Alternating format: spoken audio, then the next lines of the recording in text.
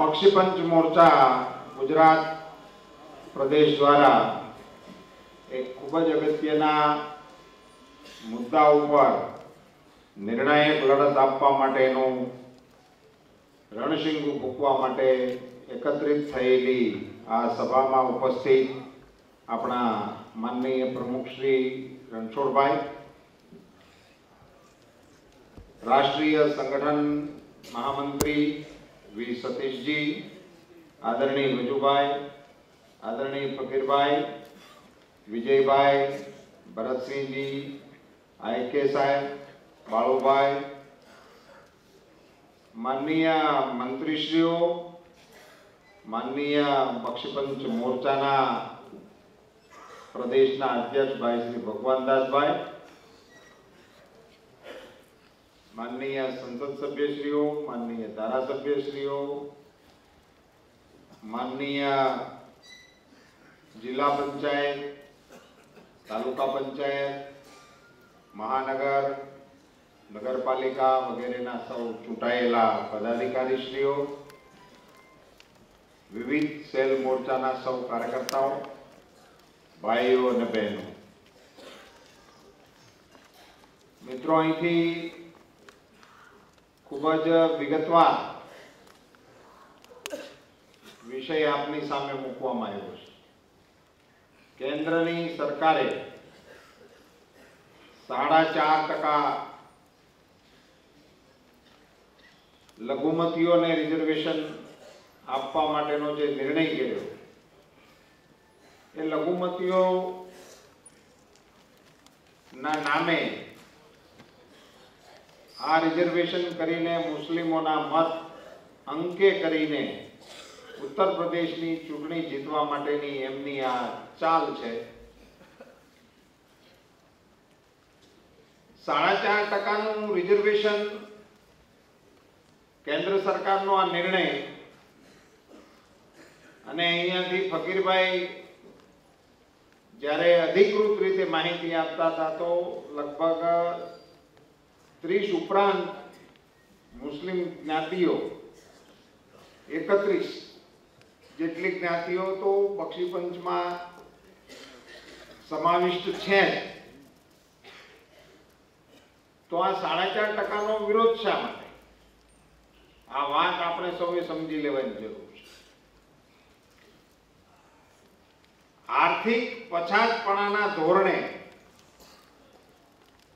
જેમને લાભ મળવા પાત્ર હતો, એમને તો લાભ આપેલો જ છે.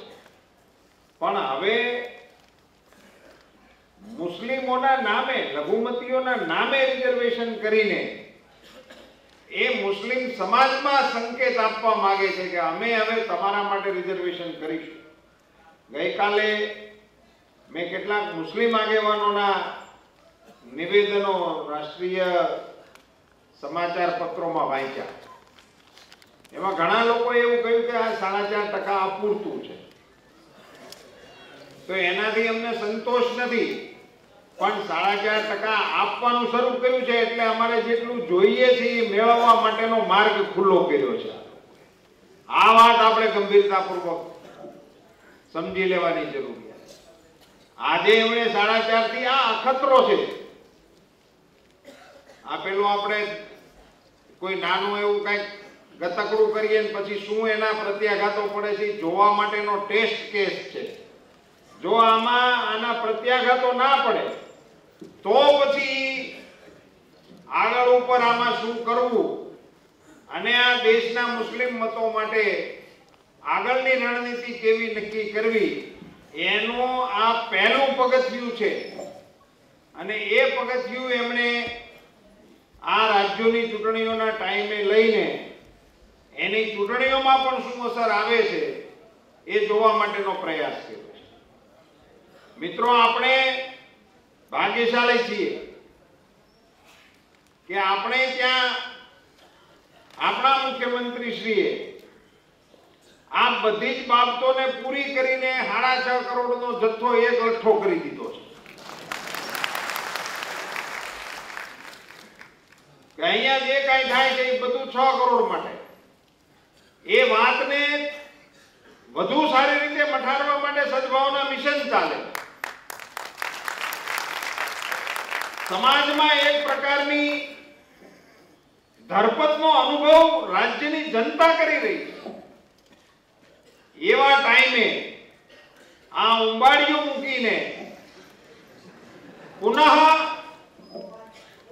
જનતાની વચ્ચે એક પ્રકારનો આંતરવિરોધ પેદા કરવાનું પાપ કેન્દ્રની આ કોંગ્રેસની સરકારે કર્યું છે. એનો વિરોધ કરવા માટે આપણે એકત્રિત થયા છીએ. મારું એક નમ્ર સૂચન છે.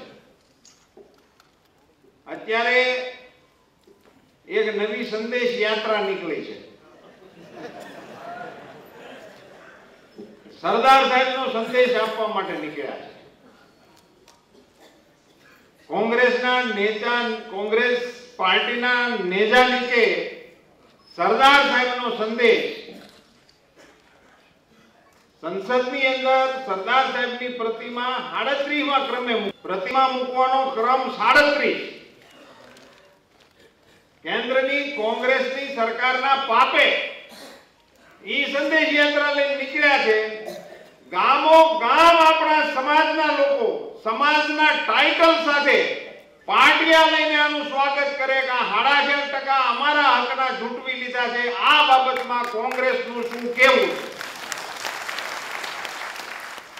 આખે રસ્તે એનું સ્વાગત થવું જોઈએ. કારણ કે આપણે આ બાવન ટકા પંચાવન ટકા કહીએ છીએ. પંચ એટલે પંચાવન ટકા. પંચાવન ટકા એટલે બહુમતી થઈ ગઈ. અને કોઈ ગામ એવું ન હોય કે આપણી વસ્તી ન હોય. કોઈ ગામ એવું ન હોય કે જ્યાં આપણી, આપણો સમાજ હોય. હવે જો એ હોય અને એના હક ઉપર તરાપ કેન્દ્રની કોંગ્રેસની સરકારે મારી હોય અને એના ચેલાઓ અહીંયા સંદેશ યાત્રાલય નીકળતા હોય તો એનું સ્વાગત આ બેનરોથી પાંડિયાથી આપણે ગામો ગામ કરવા માટેનો કાર્યક્રમ આવતીકાલથી જ કરો, જ્યાં જ્યાં હોય ત્યાં. એક સીધી જ પ્રશ્ન કે સાડા ચાર ટકા અમારા ખાતામાંથી કાઢી, અમારા હકના કાઢી. એમાં લખવાનું જે સમાજના લોકો હોય એમને લખવાનું અમે લુહાર સમાજ ફલાનું ગામ. અમારા સાડા ચાર ટકા અમારા ભાગના કાઢીને મુસલમાનોને આપવાનું નક્કી કર્યું છે. આ બાબતમાં કોંગ્રેસનું શું કેવું છે? આવ દેશી જ પ્રશ્નો પૂછો. આપણી રીતે એમને આખા રાજ્યની અંદર, જો આપણે તમામ સમાજ દ્વારા જેટલા આપણા એકસો ને સાડત્રીસ જેટલા સમાજ છે, એકસો ચુમ્માલીસ. હવે આટલા બધા સમાજમાં આપણે પ્રતિનિધિત્વ કરતા હોય બક્ષીપંચ મોરચો, અને એમની વચ્ચે આ લોકો ફરતા હોય યાત્રા લઈ, અને ઉપરથી આપણા હકની ઉપર આટલો મોટો કુઠારાઘાત કર્યા પછી ફરતા હોય, તો એમની શાન ઠેકાણે લાવવા માટેનો કાર્યક્રમ એ આપણે અને પડદા વંચાય એવા મોટા શિસ્તબદ્ધ રીતે લાઈનસર ઉભું રહેવાનું જ્યાંથી આ નીકળવાના હોય ત્યાં. અને એમના કાર્યક્રમની આગળ પણ પત્રકારો તમને શોધતા જશે ત્યાં પણ કારણ કે એમને જવાબ આપવો પડે, એ સ્થિતિનું નિર્માણ કરવું જ પડે. આપણી સરકારની, ગુજરાત સરકારની ટીકા કરવા માટે એલફેલ બોલીને રાજ્યની અંદર એક પ્રકારનો અવરોધ ઊભો કરવા માટેનું જે પાપ, કેન્દ્રના લોકો નિયમોથી પાપ કરે, કાયદાથી પાપ કરે અને અહીંના લોકો ગાળો બોલીને પાપ કરે. આ બેયનો જે દોર ચાલ્યો છે એનો જવાબ આપવા માટેનો સમય મિત્રો આવી ગયો છે. એમના મનમાં આવે બારની ચૂંટણીમાં સત્તા ઉપર આવવાનો એમનો અભરખો જાગ્યો છે. અમે ટાઈમ ઘણો વિયો ગયો છે.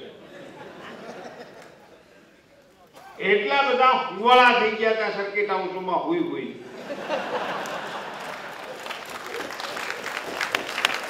એને સાંભળે છે. એટલે આંકડા છે. અને એને કારણે ગમે તેમ બોલે. ગમે તેવું બોલે. બિલકુલ ખોટો પ્રચાર કરે. બિલકુલ ખોટા મુદ્દાઓ ઉઠાવે. કાંઈ લેવા દેવા ના હોય, એવા મુદ્દાઓ ઉપસ્થિત કરે. ખેડૂતોના મુદ્દાઓ ઉપસ્થિત કરે. જે, જેને એને મનમાં આવે એ પ્રકારના મુદ્દાઓ ઊભા કરે. પણ આપણે એક વાત ધ્યાનમાં રાખવા જેવી છે. હમણાં કેન્દ્ર સરકારે એફડીઆઈ નો એક કાયદો લાવવા માટેનો પ્રયાસ કર્યો હતો. આખા દેશમાં વિરોધ થયો. સંસદની અંદર પણ હંગામો થયો. જોરદાર વિરોધ થવાના કારણે પણ એ પાછું બંધ રહી આવું એકમાં નથી થયું.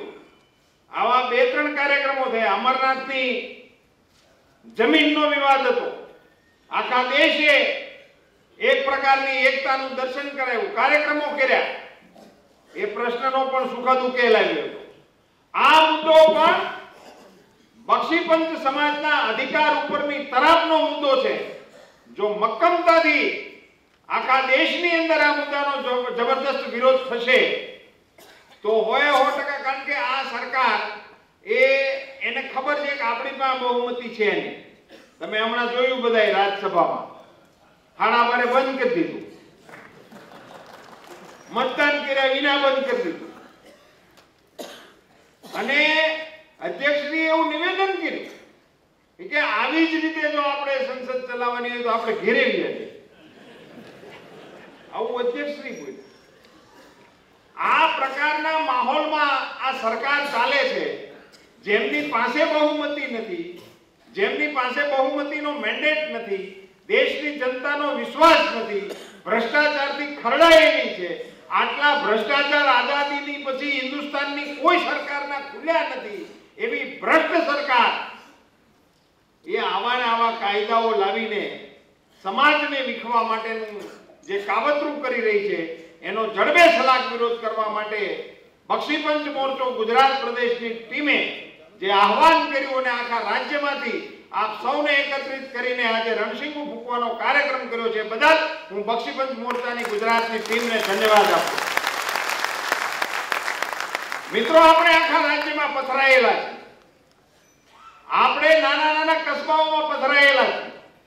આપણે સિંહ અને શેઠે કામ કરનારાઓ છીએ. આપણે આ સમાજની કરોડરજ્જુ જેવા લોકો છીએ. આપણા થકી બહુમતી સમાજ આપણે છીએ.